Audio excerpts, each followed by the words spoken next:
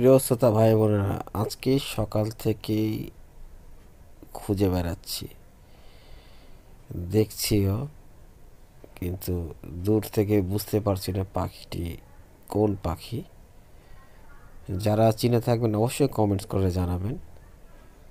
তো আজকে যে ভালোবাসা দিবস বলানোর যায় বলেন সকালে উঠে যখন বাইরে তাকালাম, তখন দেখি যে দূরে একটি পাখি। পাখিটি গায়ের রং কিছুই বোঝা যাচ্ছে না, কিন্তু তারপরেও শ্যুট করার চেষ্টা করলাম।